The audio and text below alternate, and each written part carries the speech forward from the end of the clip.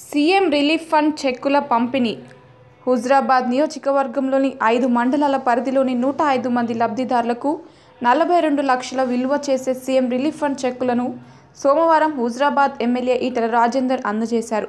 కార్యక్రమంలో నాయకులు బండ శ్రీనివాస్ పరిపాటి రవీందర్ రెడ్డి తుమ్మేటి సమ్మిరెడ్డిలతో పాటు పలు గ్రామాల మాజీ సర్పంచ్లు ఎంపీటీసీలు పాల్గొన్నారు.